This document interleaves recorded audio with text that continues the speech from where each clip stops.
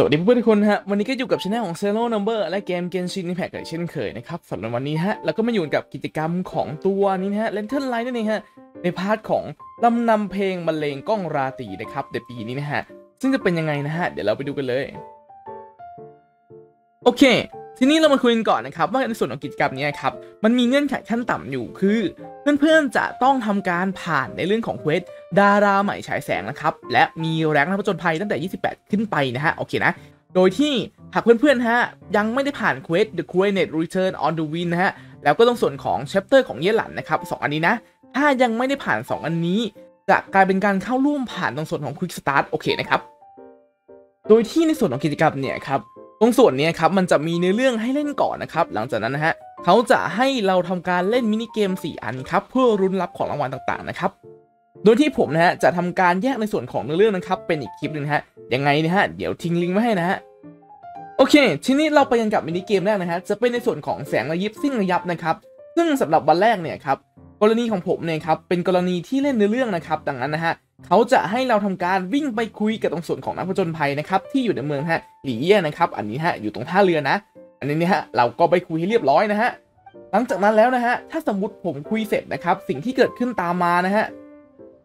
เขาก็จะทำการเปิดตรงส่วนของมินิเกมนะครับแล้วก็ mark แผนที่นะครับให้เรานะฮะจะชี้เป้าให้นะ เราก็ไปเล่นกันตาม step นะครับซึ่งส่วนตรงนี้นะครับสำหรับมินิเกมใน part ของแสงระยิบซึ่งระยับนะครับจะเป็นมินิเกมในเรื่องของการเก็บเหรียญเป็นหลักครับ โดยที่วิธีการกดเข้าร่วมนะฮะให้เพื่อนๆนะครับไปตามสถานที่ที่แผนที่นะครับเสร็จแล้วนะครับมันจะมีเสาอยู่นะครับให้เราเข้าไปคุยกับเสานะครับมันจะเป็นตรงส่วนของภารกิจจำกัดเวลานะครับทีนี้ให้เพื่อนๆสังเกตนะครับตรงส่วนอันนี้นะฮะเห็นตรงส่วนของสีฟ้านี้ไหมฮะอันนี้จะเป็นตรงส่วนของ main skill นะครับอันนี้นะฮะซึ่งเวลาเล่นนะครับเราจะต้องกดสกิล E นะครับเข้าไปนะฮะมันจะพุ่งแทนนะจากปกตินะครับแล้วก็จะมีเจ้าส่วนของนะฮะคล้ายๆลูกท้อนะครับอันนี้นะเราสามารถที่จะเข้าไปนะครับในตัวเขานะครับเสร็จปุ๊บเขาจะพ่นเราขึ้นข้างบนนะฮะ เป็นการส่งเราขึ้นที่สูงนะครับ อันนี้เราก็เล่นไปตาม step นะฮะ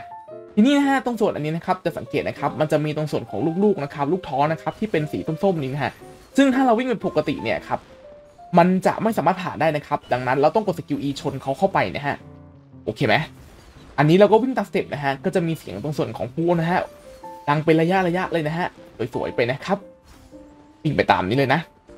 ทางนี้นะฮะเพื่อนๆระวังตรงนี้ดีนะครับ สังเกตนะครับ อันนี้อย่าข้ามนะฮะ อันนี้เราต้องพุ่งขึ้นที่สูงนะครับ เสร็จปุ๊บกดสกิล E เพื่อพุ่งตัวเข้าไปนะครับ ซึ่งตรงนี้นะฮะ อันนี้ผมพลาดไปทีแรกนะครับ เพื่อนๆจะต้องทำการนะฮะ ค่อยๆลงไปเก็บเหรียญตรงนี้ก่อนนะครับ เพื่อให้มันครบนะฮะ ถ้าอยากได้ครบแบบ all clear เลยนะ โอเคไหมเสร็จปุ๊บตรงนี้นะฮะ อันนี้นะครับ มันจะมีเจ้าลูกท้อนะครับ ส่งเราขึ้นไปข้างบนนะฮะ แล้วเราก็วิ่งไปตาม step ตรงนี้นะครับ ค่อยๆบินเข้าไปเลยนะฮะ อันนี้นะ แล้วก็อันนี้ฮะ เราก็จะถึงจุดหมายนะครับ ชื่อหวังชูอินนะครับ อยู่ตรงนี้นะ เรียบร้อยไปกันต่อกับมินิเกมในส่วนที่2นะครับในส่วนของโรงละครกระดาษนะครับอันนี้ก็เช่นเคยนะฮะเขาจะให้เรานะฮะไปทำการคุยเควสกับ NPC นะครับเหมือนเดิมนะฮะเราก็วิ่งไปตาม step นะครับคราวนี้นะฮะเขาจะอยู่ตรงส่วนของท่าเรือหลีนะครับ อันนี้นะฮะวิ่งไปเลยนะครับ อันนี้จะมีตรงส่วนของ quest นิดหน่อยด้วยนะฮะเป็นในเรื่องนะครับ ซึ่งอันนี้ผมจะตัดออกนะครับโอเคไหมแต่ได้ไม่สปอยเพื่อนๆนะฮะเพราะถ้าสมมติคุยเสร็จแล้วนะครับ เพื่อนๆมาคุยกับ NPC ที่อยู่ข้างๆนะครับ จะเป็นคุณลุงคนนี้นะฮะ ซึ่งตรงส่วนเนี้ยครับเขาจะให้เรานะฮะทำการเล่นมินิเกมนะครับ โดยที่สำหรับวันแรกเนี่ยครับ จะมี 3 ฉากด้วยกันนะครับ อันนี้นะฮะ โอเค ทีนี้สำหรับฉากที่1นนะครับ สังเกตนะครับ อันนี้เขาจะมีการแนะนำตรงส่วนของตัวมินิเกมนิดหน่อยนะครับ ซึ่งหลักๆเนี่ยครับ เป้าหมายของเราคือพาตรงส่วนของคุณลุงเขายาวคนนี้นะฮะ ให้ไปหาตรงส่วนของประตูให้ได้ โดยที่จะมีเรื่องของสิ่งกีดขวางอยู่เป็นระยะระยะนะครับ ตรงนี้ตัวละครจะเดินผ่านไม่ได้นะครับ และบางชิ้นถ้าเดินไปนะครับคือเกมโอเวอร์เลยนะ โดยที่ของฉากแรกเนี่ยครับ เราจะต้องพยายามสลับให้เข้าประตูนะครับ อันนี้นะฮะ อันนี้เราไม่สามารถสลับฉากขึ้นข้างบนได้นะครับ ดังนั้นนะครับ มีแถวแรกแถวเดียวนะครับ ให้พยายามนะครับทำการย้ายในส่วนของประตูนะครับ เข้ามาที่ตรงกลางนะ โดยที่ตรงส่วนของอันนี้ครับไอ้เต้าตรงส่วนของใจกันเนี่ยครับย้ายไปขวาสุดเลยนะฮะก็จะผ่านง่ายๆนะโอเคไหมอันนี้ก็รอตัวละครเดินนิดนึงนะฮะเรียบร้อยนะฮะตึ้ง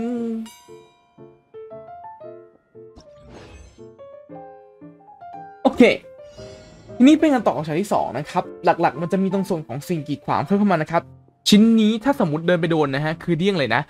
เพราะฉะนั้นต้องระวังนะครับ พยายามสับเข้าออกไปนะครับ แล้วก็ตรงนี้นะครับ ให้เราพยายามนะครับทำการสับประตูนะครับไปอยู่ด้านซ้ายนะครับโอเคไหมสับประตูนะครับไปอยู่ด้านซ้ายของฉากที่ตัวละครเดินอยู่นะครับ แบบนี้นะครับ อันนี้นะสับไปนะ เพื่อให้ตรงส่วนของคุณลุงเข้าประตูได้นะครับ ก็จะเรียบร้อยนะครับ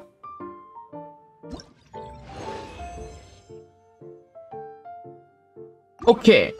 ไปกันต่อกับฉากที่3นะครับ ครั้งนี้เราจะต้องสับคุณลุงไปหาน้องสาวนะครับ แต่สำหรับด่านนี้นะฮะสำหรับฉากแรกจะไม่สามารถสลับได้นะครับ ดังนั้นฮะ เรารองสลับคุณลุงนะครับ ตอนที่อยู่ที่กระถางนะครับ อันนี้นะ เพื่อให้เขาเดินผ่านน้องสาวนะครับ รีบสลับนิดนึงนะครับ อันนี้นะ ถ้าสมมุติโดนหนามนะครับ คือจบเลยนะครับ อันนี้ก็จะผ่านได้โดยง่ายนะครับ นี่เรียบร้อยนะฮะสามฉากนะครับ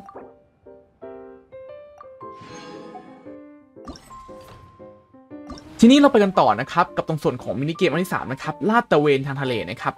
อันนี้ก็เหมือนเดิมนะครับ ตรงส่วนนี้นะครับ เราจะต้องทำการรับ quest ก่อนนะครับ อันนี้นะฮะแต่ตรงนี้นะฮะเราคุยกันนิดนึงนะครับว่าตรงส่วนของพื้นที่ที่จะให้ไปเนี่ยมันเป็นกองเรือของเจ๊เป่ยนะครับซึ่งตรงนี้นะครับเราจะต้องทำการ warp ลงเรือนะครับถ้าสมมติใครยังไม่เปิด warp เลยนะฮะให้ทำการเปิด warp ก่อนนะครับเสร็จปุ๊บนะฮะจะมี NPC ให้เราคุยอยู่หนึ่งคนนะครับอันนี้หาไม่ยากนะฮะตามควสไปเลยนะครับซึ่งถ้าสมมติคุยเสร็จเนี่ยครับเขาจะแนะนำในเรื่องของการที่ให้เรานะฮะไปทำการทดลองในเรื่องของการเดินเรือนะครับเพื่อที่จะฝึกในเรื่องของนักผจญภัยใหม่ๆนะครับ โดยที่มินิเกมตัวนี้นะครับหลักๆ คือเป้าหมายคือการเก็บเหรียญครับ ซึ่งเขาจะสุ่มฉากออกมา 3 อันนะครับเขาจะเรียงลำดับเลย ซึ่งแต่ละฉากเนี่ยมันมีประเด็นอยู่ว่าตัวส่วนของสกิลเนี่ยครับจะทำการเปลี่ยนไปทุกๆครั้งที่มันสุ่มใหม่นะครับโอเคนะเพราะฉะนั้นนะครับให้เช็คดูดีๆนะครับอันนี้นะแล้วแต่คนเจอจริง ๆ แต่ให้เพื่อนๆสังเกตนะครับเวลาเราใช้สกิลเนี่ยจะต้องไปเก็บแผ่นป้ายก่อนนะครับโอเคไหมอันนี้ก็จะประมาณนี้นะครับอะอีกทีนี้นะครับ อันนี้ตรงส่วนของเรือเนี่ยครับมันจะมีเลือดด้วยนะครับอันนี้นะให้เพื่อนระวังนะครับถ้าสมมติเราชนสิ่งกีดขวางจนเสียชีวิตนะครับอันนี้เลือดหมดนะครับมันจะทำการเอาเหรียญของเราเนี่ยออกหมดเลยนะครับโอเคไหมเพราะฉะนั้นเพื่อนๆต้องระวังนะครับ อันนี้นะฮะพยายามอย่าพลาดนะครับ อย่างน้อยรักษาเหรียญไว้ก่อนนะครับอันนี้เราเล่นได้ทั้งตรงส่วนของโคออฟแล้วก็เล่นคนเดียวนะครับ ซึ่งตรงส่วนนี้ครับ อันนี้นะครับ อันนี้นะ มันจะมีเหรียญใหญ่อยู่ด้วยฮะ ซึ่งเหรียญใหญ่พวกนี้ครับ จะให้จำนวน 10พอยต์นะครับ เดี๋ยวเราไปลองดูกันนะฮะทีนี่พอเข้ามาเสร็จปุ๊บเนี่ยครับจะสังเกตนะฮะมันจะมีตรงส่วนของพอยต์สะสมอยู่ที่ 2,000 นะครับและแบ่งออกเป็น2หมวดตามที่บอกนะครับอันนี้นะจะเป็นหมวดในส่วนของการเล่นคนเดียว แล้วก็เล่นหลายคนนะฮะซึ่งเราสามารถที่จะเลือกเล่นได้นะครับหลักๆ คือเข้าไปเก็บเหรียญให้คะแนนถึงนะครับ อันนี้จะบอกตรงส่วนของเปิร์กนะครับที่เราสามารถที่จะใช้ได้นะครับในแต่ละอันนะฮะแล้วก็จะมีในส่วนของเกณฑ์คะแนนนะครับต่างๆ พวกนี้นะครับเราสามารถที่จะเข้ามาดูได้นะ โอเคไหมอันนี้มีรายละเอียดการท้าทายด้วยฮะเราคลิกเข้าไปดูก่อนได้นะครับจะบอกเลยครับอันเนี้ยมันจะสุ่มมาฮะเดี๋ยวเราต้องไปลุ้นกันอีกทีหนึ่งว่าจะเจออะไร โอเค เดี๋ยวนี้นะฮะผมจะยกตัวอย่างในส่วนของเกมที่เป็นโหมดเล่นหลายคนขึ้นมานะครับจะเป็นอันนี้นะครับเราเข้าไปเลยฮะเขาจะสุ่มในเรื่องของคนนะครับที่จะไปกับเราด้วย 4 คนนะครับซึ่งเอ่อถ้าพูดตรงๆนะครับคือไปแย่งเหรียญกันนะฮะก็เล่นสนุกสนุกๆกันนะครับอันนี้สุ่มด่านออกมาก่อนนะครับเขาจะบอกรายละเอียดมานิดนึงนะครับว่าเฮ้ยด่านนี้ครับจะเจออะไรบ้างนะหลักๆจะเป็นตรงส่วนของแมกเนตนะครับแล้วก็จะมีตรงส่วนของอันนี้นะครับนี่นะฮะสังเกตนะครับจะมีน้ำวนอยู่นะครับอันนี้ถ้าโดนคือเรียบร้อยเลยนะครับเห็นไหม ซึ่งตรงนี้ครับ อันนี้ผมอยู่ในส่วนของการที่เรารอเล่นอยู่นะครับ ก็ตามที่เห็นนะฮะเป็นการรอโหลดที่มีรูปตัวละครยืนบนน้ำนะฮะ ตอนแรกผมดูว่าบั๊กเอาจริง ๆ ตรงนี้ครับ อันนี้นะ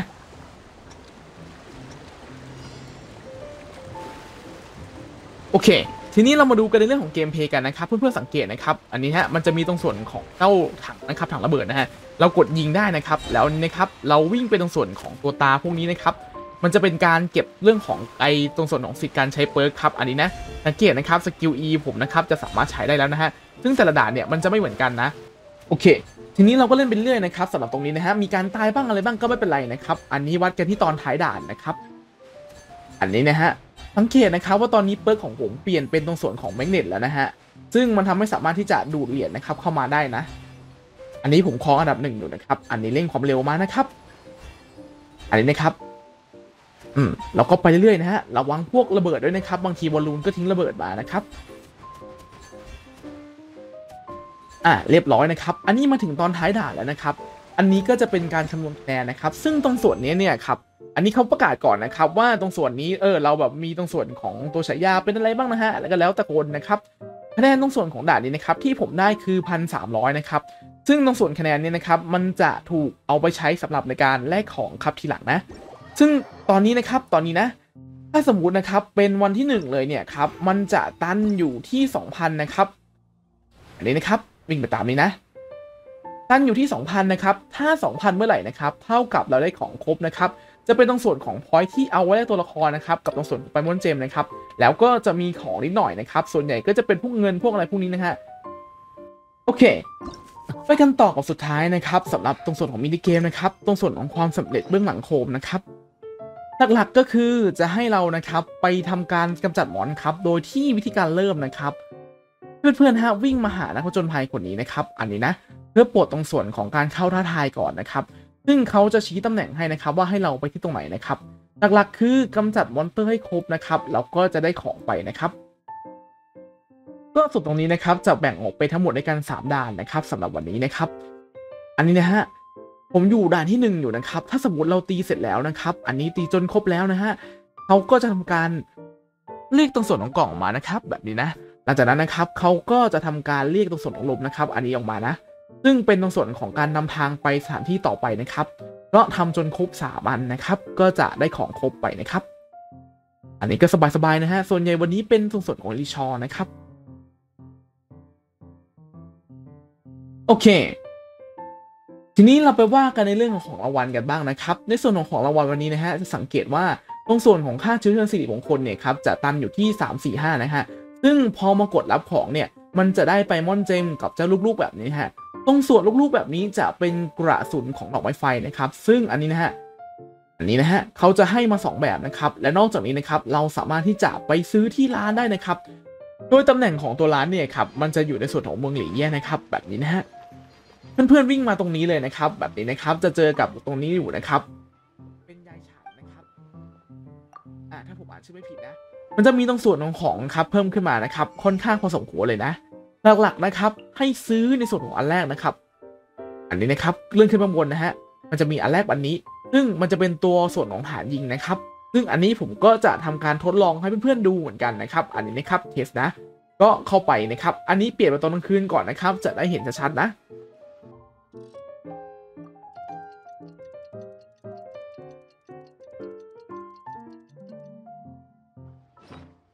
โอเค ทีนี้นะฮะเราเอาเขาออกมาก่อนนะครับตรงส่วนของบ้องข้าวหลามมันนี้นะฮะมันจะเป็นตรงส่วนของอันนี้นะฮะมันจะมีคำสั่งอันแรก ที่เราสามารถปรับตรงส่วนของสีขนาดความสูงแล้วก็ความหนานะครับ อันนี้นะฮะความหนาแน่นนะครับของตัวดอกไไฟนะครับที่จะยิงได้นะครับ อันนี้นะฮะอ่าแล้วเรากดสำเร็จไปนะฮะตามสเต็ปนะครับอ่านี่นะฮะ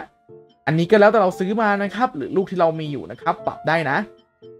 ทีนี้เสร็จปุ๊บนะครับไปที่อันที่2ครับเขาจะให้ทำการเลือกในส่วนของเซตนะครับดอกไม้ไฟที่จะยิงนะครับ อันนี้แม็กซิมัมอยู่ที่ 10 อันนะครับเราสามารถปรับในเรื่องของอันนี้นะครับจำนวนครั้งในการยิงช่วงเวลาจุดดอกไม้ไฟ ความล่าช้าในการเริ่มจุดนะครับเผื่อถ่ายรูปนะครับ แล้วก็ความห่างในแต่ละรอบนะครับ อันนี้เราปรับได้นะฮะเราก็ปรับไปตามสเต็ปเลยนะฮะเพื่อการถ่ายรูปที่สมบูรณ์แบบของเรานะฮะสวยๆไปนะครับ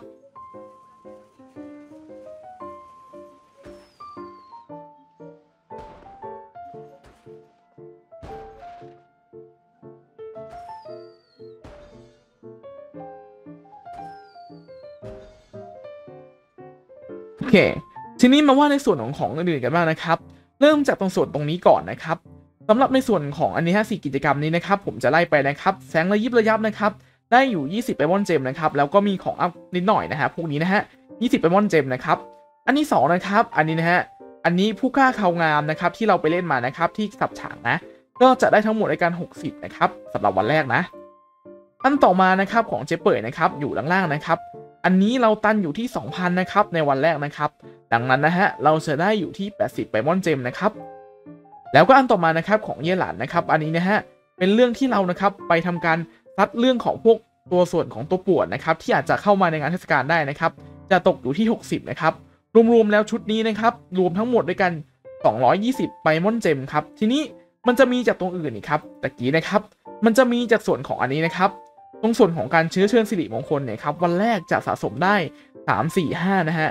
ซึ่งตรงส่วนนี้นะครับมันจะได้ตรงส่วนของไปมอนเจมนะครับอยู่ที่ 30 นะครับ แล้วก็แน่นอนฮะในเจ้าลูกๆตะกี้นะครับ เจ้าลูกตรงส่วนของดอกไม้ไฟนะครับมาด้วยนะ อันนี้นะครับ ทีนี้นอกจากตรงส่วนนี้นะครับ ก็จะมีในหมวดของเรื่องราวจิปาถะนะครับ อันนี้นะครับ ซึ่งได้ 20 ไปมอนเจมนะครับรวมๆแล้วนะครับ 220 บวก 20 ตรงนี้นะครับ แล้วก็บวกตรงนี้นะครับอีก 30 นะครับ เท่ากับว่าสำหรับวันแรกเนี่ยครับเราจะได้ไป 270ไปมอนเจมนะครับ แล้วก็จะมีของอัพนะครับ พวกเงินพวกอะไรนิดหน่อยด้วยนะครับ จริงๆก็แจกเยอะมากเลยนะฮะ แล้วนี้ฮะอย่าลืมนะครับตรงส่วนนี้นะครับถ้าเพื่อนๆฮะทำครบนะครับในส่วนของ 1,000 นะครับ ตรง part ของเชื้อเชิญสิริมงคลเนี่ยครับ1,000 นะครับ ที่น่าสนใจนะครับ จะให้ Crown of Insight นะครับ ซึ่งใช้ในการ up ตรงส่วนของ skill ตัวละครนะครับสุดท้ายนะครับ และและนะฮะ เพื่อนๆทำครบ 800 เมื่อไหร่นะครับ อันนี้นะครับ เราสามารถที่จะเลือกอัญเชิญหนึ่งในตัวละครเหล่านี้ได้นะฮะ ดังนั้นก็อย่าลืมมาทำกันนะครับ โอเคไหมก็สำหรับคลิปนี้น่าจะประมาณนี้นะครับ ถ้าเพื่อนๆชอบคลิปนี้ก็อย่าลืมกดไลค์ กดแชร์ กด subscribe เพื่อเป็นกำลังใจกันด้วยนะฮะ แล้วเจอกันใหม่คลิปหน้า see you next time my friend เจอกันครับ